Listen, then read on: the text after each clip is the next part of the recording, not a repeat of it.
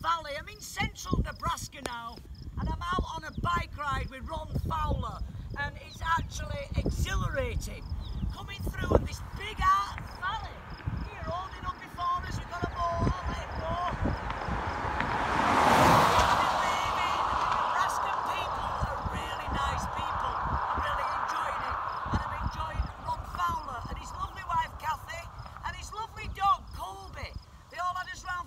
Last night. We had a great meal with them and then he's taken me on this wonderful ride today.